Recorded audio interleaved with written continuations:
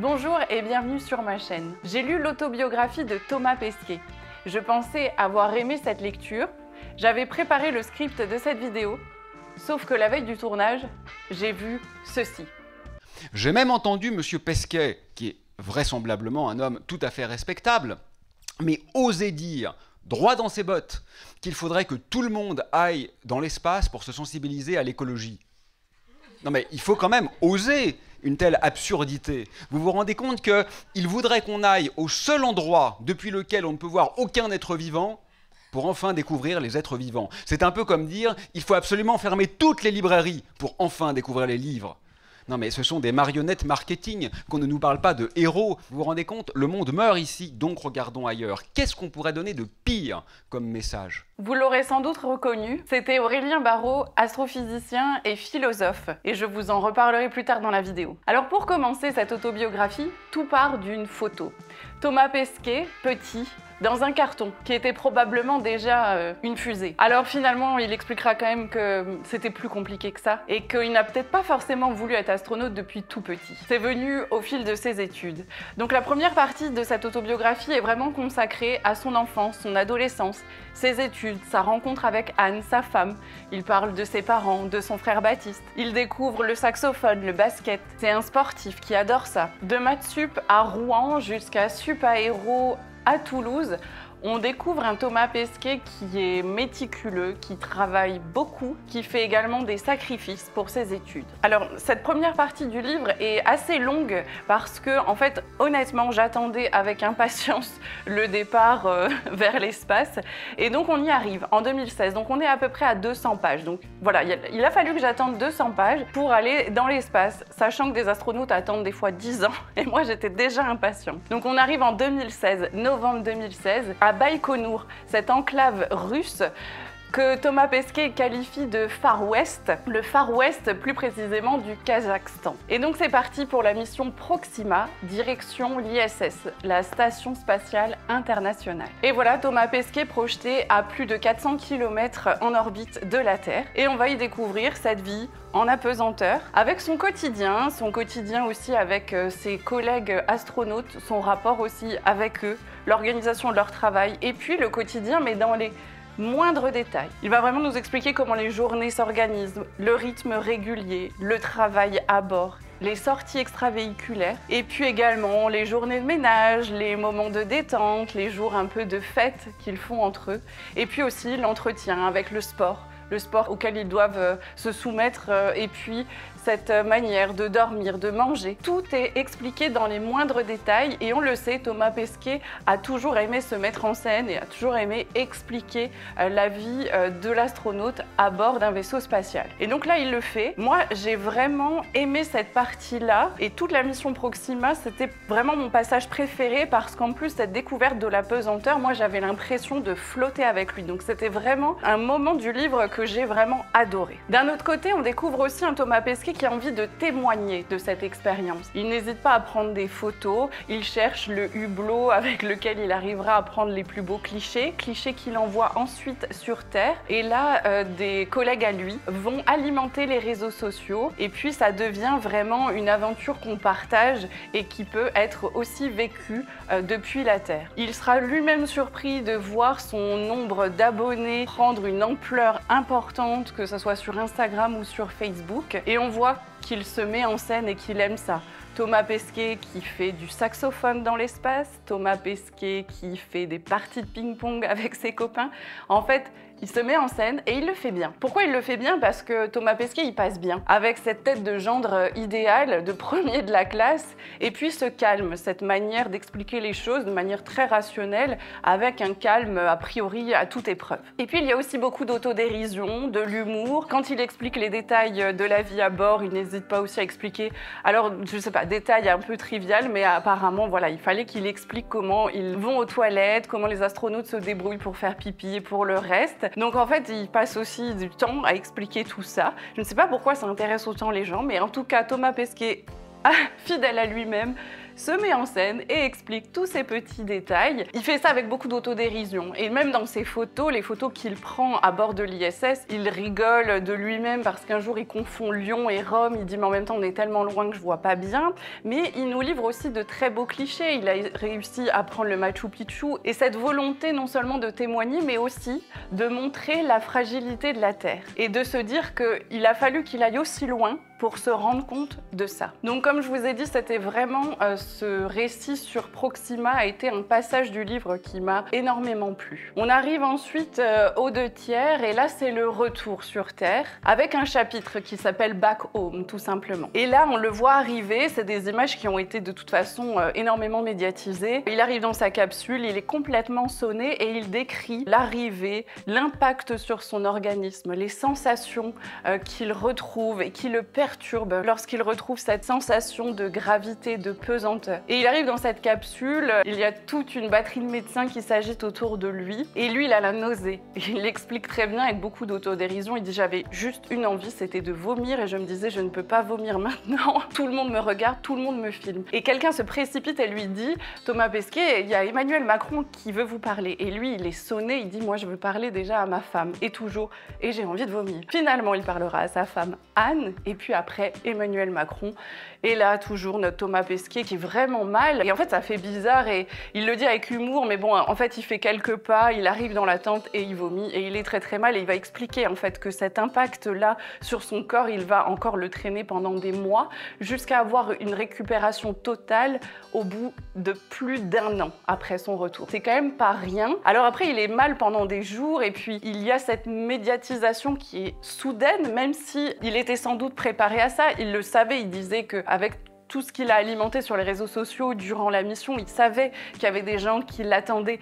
Mais en même temps, il ne s'attendait pas à ça, aux selfies, aux demandes, aux demandes auxquelles il ne pouvait pas répondre. Le fait que même quand il prend quelques jours avec sa femme, il est toujours arrêté à tous les coins de rue. Et ça, c'est vrai qu'il n'était pas préparé. En tout cas, c'est très soudain et c'est pas toujours évident à gérer, je, pense. En tout cas, c'est ce qui euh, ressort un petit peu de ce passage-là. Il a aussi cette impression de donner son corps à la science parce qu'en fait, il va suivre énormément d'examens et de tests parce qu'après, en fait, il faut savoir qu'il y a énormément de recherches qui sont faites pour voir l'impact de la pesanteur sur le corps d'un astronaute. Alors, je vous ai parlé de l'impact physiologique, physique, mais il y a aussi un impact qui est très important dont Thomas Pesquet parle dans ce chapitre Back Home, c'est l'impact sur sa famille. Et il y a un passage qui est vraiment saisissant. C'est sa femme qui lui dit bah, C'était difficile cette mission pour moi. Et elle lui dit C'était ton aventure, c'était pas la mienne. Et en fait, il s'engueule. Le ton monte. Elle lui dit Thomas, euh, si tu repars une deuxième fois, sache que je ne serai plus là à ton retour. Et c'est un moment qui est assez difficile, je trouve, parce que j'ai toujours eu l'impression que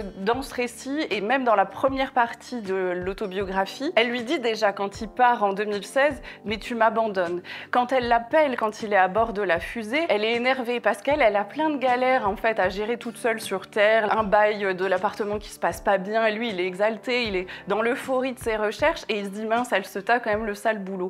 Et en fait, Anne, c'est beaucoup d'engueulades. En fait, il relate lui leur conversation. À la limite, bon bah c'est euh, c'est honnête ce qu'il fait, on ne serait pas obligé de savoir euh, leur vie perso.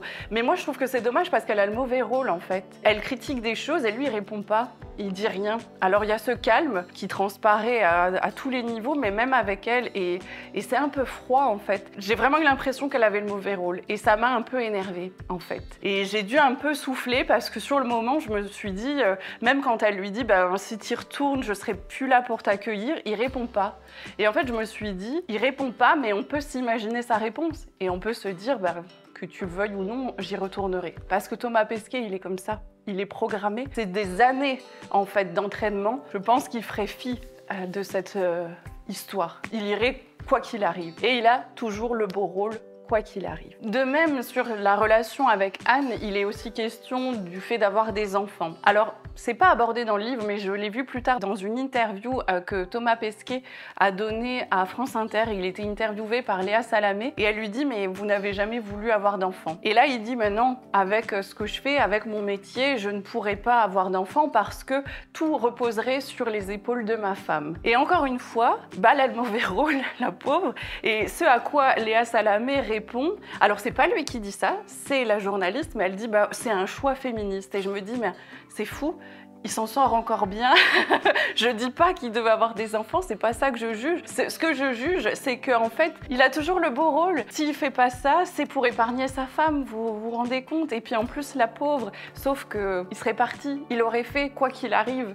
Et peu importe l'impact que ça a sur elle, en fait. Et c'est ça qui est un peu dommage, c'est que je ne sais pas si c'est représentatif de leur vie à eux, à la limite, ça me regarde pas, mais j'ai trouvé qu'elle incarnait toujours, elle, le côté négatif des missions, en fait. On arrive ensuite à la deuxième mission.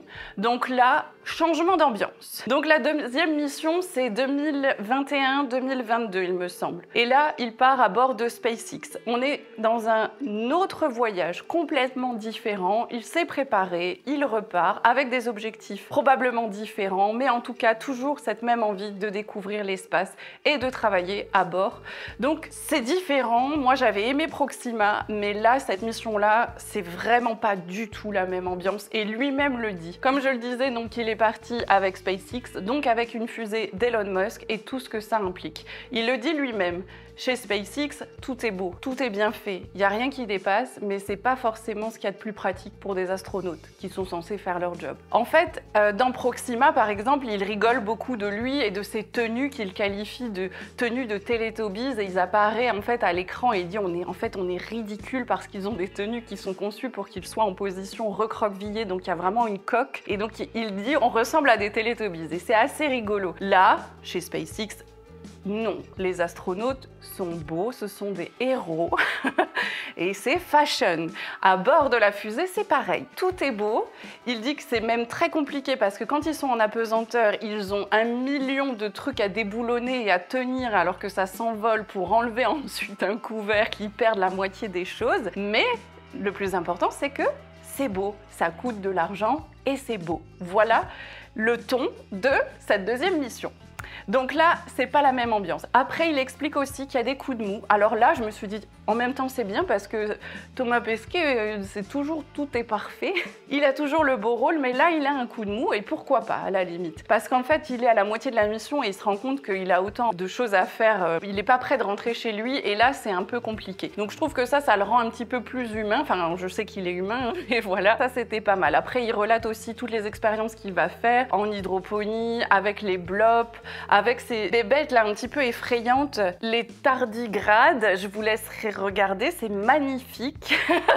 les tardigrades qui, voilà, qui ont voyagé aussi pour être étudiés sous toutes les coutures. Donc il explique beaucoup tout ce travail-là, les sorties aussi extravéhiculaires. Après, c'est encore une fois Thomas Pesquet, tout est beau aussi dans sa façon de voir les choses. Il a un conflit avec une collègue et puis finit par la prendre dans les bras. En fait, tout est toujours sous contrôle, il est calme et tout dans le cadre qu'il a prévu. Alors en réalité, oui, j'avais aimé cette lecture parce que j'ai trouvé que c'était intéressant, que c'était une mine d'informations. Et quelque part, j'ai un peu voyagé, je suis aussi un petit peu partie dans les étoiles, si on peut le dire de manière assez imagée, mais parce qu'en réalité, l'espace, ça touche aussi tout un imaginaire. Peut-être de l'ordre du fantasme. Et puis, euh, il y a aussi euh, la question de l'overview effect, qui est un phénomène qui arrive souvent aux astronautes, et c'est ce qui s'est passé pour Thomas Pesquet, c'est que lorsqu'il était euh, dans l'espace, il s'est rendu compte de la fragilité et de la vulnérabilité de la Terre. Si bien qu'il disait,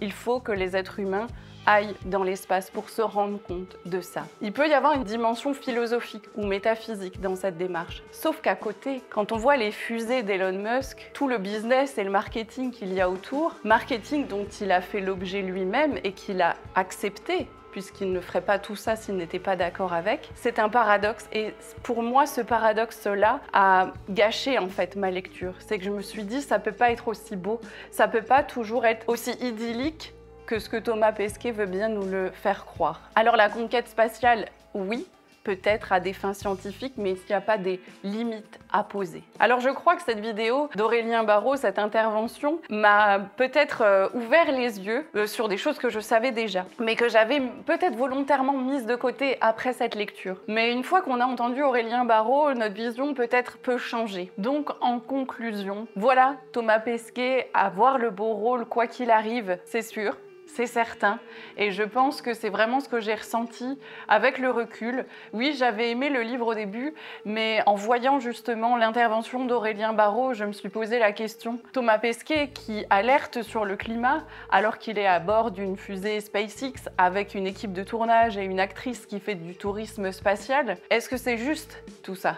Et c'est la question que je me pose. Comme dirait justement Aurélien Barraud, il faut penser en philosophe autant qu'en physicien. Voilà un avis qui peut être un petit peu polémique. Euh, la conquête spatiale, c'est un vaste débat, alors commentez, dites-moi ce que vous en pensez et si vous partagez également les mêmes questionnements. Ma vie sans gravité de Thomas Pesquet. D'habitude, j'aime bien vous dire si je vous le conseille ou pas. Là, je ne sais pas. J'avais aimé ma première lecture et puis en y réfléchissant, j'avoue que je me pose beaucoup de questions. Alors, si vous voulez aussi vous interroger sur tout ce que ça implique, sur ce que représente la conquête spatiale, ben, je vous invite à le lire. Donc n'hésitez pas à me donner votre avis dans les commentaires. En tout cas, on se retrouve très vite pour une prochaine vidéo. Vous pouvez également vous abonner à la chaîne si le contenu vous plaît.